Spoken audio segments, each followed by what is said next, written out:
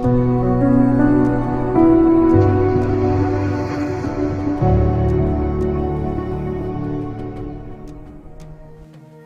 තාමත් හිතාගෙන ඉන්න දුනක් නොමැතිව රසවත් ආහාරයක් පිස ගැනීමට නොහැකි බවද?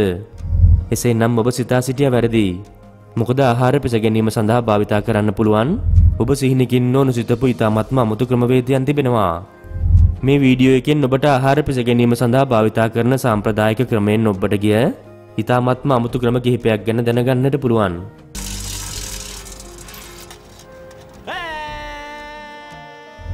මුලින්ම පැවසිය යුතුයි මේ ඉදිරිපත් කරන ක්‍රමවේදයන් අත්දා බැලීමට ඔබ උත්සාහ කරන්නට එපා. මේ දේවල් ඔබ වෙත ගෙන එන්නේ මෙවැනි දේවලුත් ලොව ඇති බව ඔබ දැනුවත් කිරීමටයි. අංක 1 ලෝහ රසින් රස ගැන්වූ බාබකියු. බම්පසා පා කියන්නේ කලාකරුවන් දෙපළක්. ඔවුන් දෙදෙනා සිරකූස් විශ්වවිද්‍යාලයේ මාචාර්යවරයෙක් වන රොබර්ට් විසස්කි හා එක්ව ලාවා ප්‍රොජෙක්ට් යනුවෙන් හඳුන්වන ව්‍යාපෘතියක් සිදු කරා.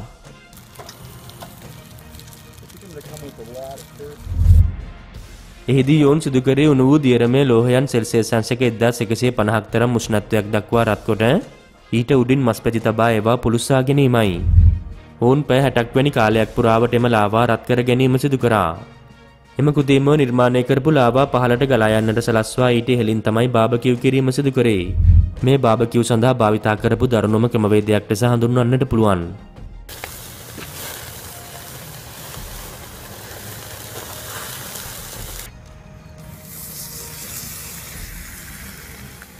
අංක දෙක භූගතව සිදු කරන ආහාර පිසීම.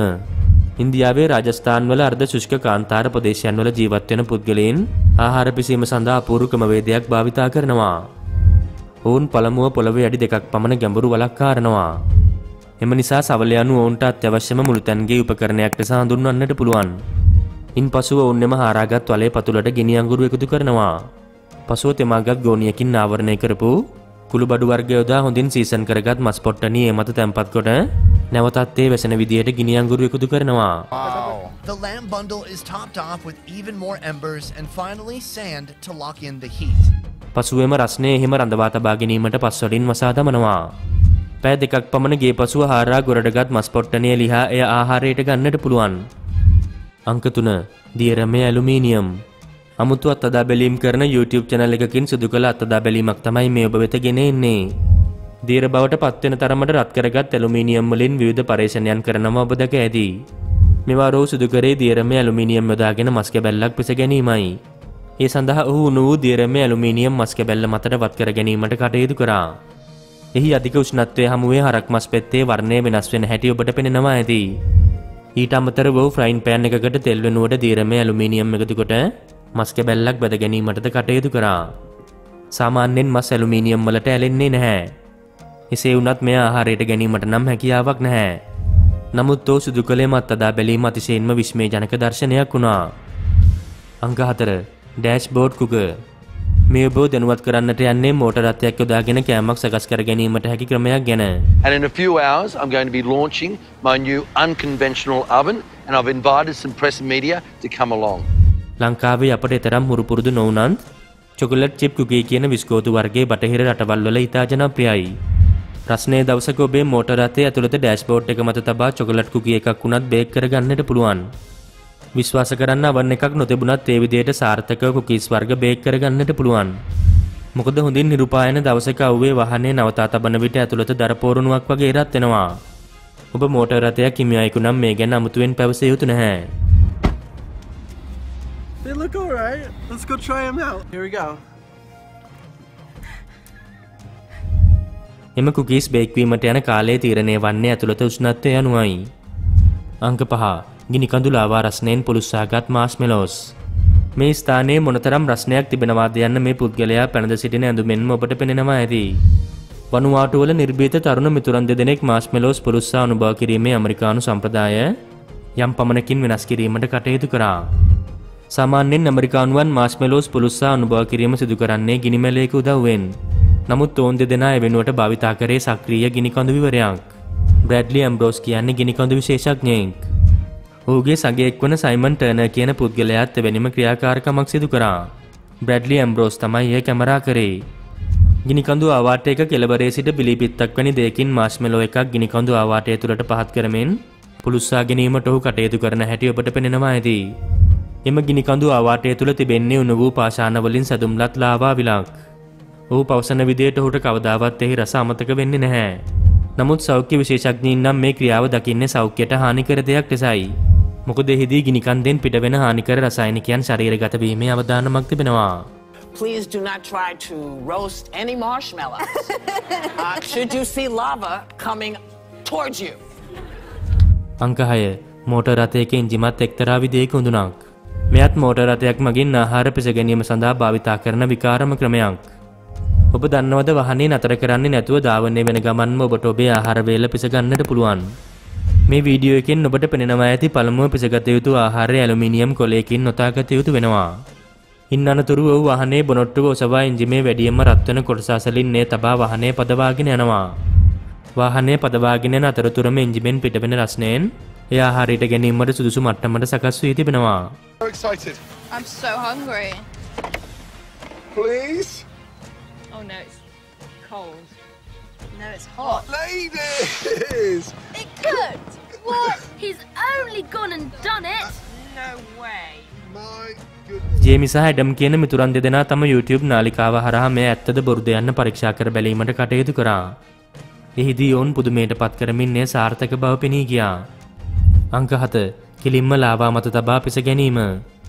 සක්‍රිය ගිනිකන්දක් දිගේ පහලට ගලා එන ලාවා මත තබා වුණත් ආහාර පිසගන්නට පුළුවන්. ඔබට පෙනෙනවා ඇතියම ගිනිකන්ද දිගේ සෙමින් පහලට ලාවා ගලා එන හැටි.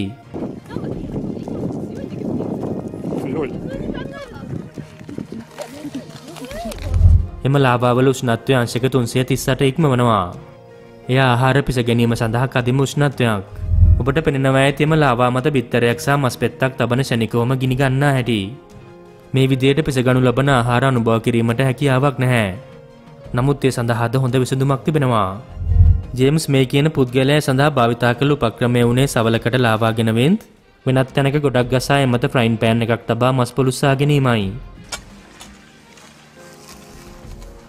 See that? අංකාට solar parabolic dish. Solar parabolic dish ලෙස හඳුන්වන මෙවැනි උපකරණයකින් සූරිය කිරණ එක් තැනකට නාභිගත කරගන්නට පුළුවන්. එය හිතාගන්නවත් බැරි තරම් දරනුවට රත් වෙනවා. එම නිසා එය උපයෝගී කරගෙන ආහාර පවා පිසගන්නට පුළුවන්. You can pretty much set this down and cover the lid, you know, set it and forget it. Come back in five or ten minutes and your hamburger's done. නමුත් ඒ සෑම විටම සූරයාට මුහුණලා සිටිය යුතුයි. මෙය ආරක්ෂිතව පරිස්සමින් භාවිතා නොකරොත් ඇස්සෝවත් පිලිස්සීමට හැකියාව තිබෙනවා. ඔබට පෙනෙනවා ඇති ඒ මත තබා රත් කරගත් මස් මොනතරම් අපූරුවට බැදී තිබෙනවාද කියා. අංක නමය නිවසේදීම සාදාගත හැකි සූරිය උඳුන. මේ ඔබ දැනුවත් කරන්නේ ආහාර පිස ගැනීම සඳහා භාවිතා කළ හැකි ඉතාමත්ම සරල පරිසර හිතකාමී ක්‍රමවේදයක් ගැන. මෙමගින් ආහාර පිස ගැනීම වගේම රත් කර ගැනීමත් සිදු කරන්නට පුළුවන්. ඒ සකසා ගැනීම සඳහා භාවිතා කරන්නේ ඉතා සරල ද්‍රව්‍ය කිහිපයක්. එහි පාදම විදියට ඔබට පීසා පෙට්ටියක් භාවිතා කරන්නට පුළුවන්. පසුව ඊට මේ විදියට ඇලුමිනියම් කොළ අලවාගත යුතු වෙනවා. ඉන් පසුව එහි ඔබට රත් කර ගැනීමට හෝ පිස ගැනීමට අවශ්‍ය කරන ආහාරය තැබූ විට එය සෙමෙන් රත්වීම සිදු වෙනවා. එමගින් කුකීස් සහ උණුසුම් සැන්විච් වැනි දේවල් සකසා ගැනීමට හැකි අතර පීසා වැනි දේවල් රත් කර ගන්නට පුළුවන්. අංක 10 අයන් එකකින් පිසගත් සැන්විචස්. චීස් වැක්කිරෙන රසමරස උණුසුම් සැන්විච් එකක් සාදා ගන්න විශේෂ පිසුම් උපකරණ අවශ්‍ය වන්නේ නැහැ. ඇලුමීනියම් කොලයක් සහ එන්න එකක් පමණක් භාවිතා කරමින් එය පහසුවෙන් සකසා ගන්නට පුළුවන්. ඒ සඳහා වඩාත් ගැලපෙන උෂ්ණත්වය වන්නේ ලොම්මැදුම් මිශ්‍රීක කිරීම සඳහා භාවිතා කරන උෂ්ණත්වයයි. පළමුව චීස් මැදිකොට සකසාය කලස් කරගත් සැන්විච් එක ඇලුමිනියම් කොලයකින් හොඳින් ආවරණය කරගෙන ඉන් පසුව අයන්න එක භාවිතා කරමින් ඒ දෙපැත්තෙම රත් කර ගැනීම මගින් පහසුවෙන්ම චීස් සැන්විච් එකක් සකසා ගන්නට පුළුවන්. ඒ වගේම ලංකාවේ අපට හොඳින් නුරුපුරුදු ආහාරයක් වන පොල් රොටියක් හෝ බිත්තර ඔම්ලට් එකක් වුණත් අයන් එකක් භාවිතා කරමින් සකසා ගන්නට හැකියාව තිබෙනවා. හද වෙලාවත් තියන්න ඕනේ මේක හොඳට තැම්බෙන්න ඕනේ. ඒක තැම්බෙන්න ඕනේ කියන්නේ බිත්තර ඔම්ලට් එකක් අපි හදන්නේ. මේක මේ වීඩියෝ වේවූ ඇතැම් ආහාර පිසීමේ ක්‍රම අත්අදා බලන්නට යාමෙන් වැළකී සිටින එක නොනට හුරුයි. මොකද එම ඇතැම් ක්‍රමවේදයන් සෞඛ්‍ය ආරක්ෂිත වන්නේ නැහැ. ඒ වගේම සමහරක් ඉතා අනතුරුදායකයි. මේ වීඩියෝව ඔබ වෙත ගෙනාවේ මෙවැනි දේවල්ද ඇති බව ඔබ දැනුවත් කිරීමට පමණයි. ඔබ නොදත් මෙවැනි අපූරු දේවල් දිනපතා දැනගන්න අපිව සබස්ක්‍රයිබ් කරන්න.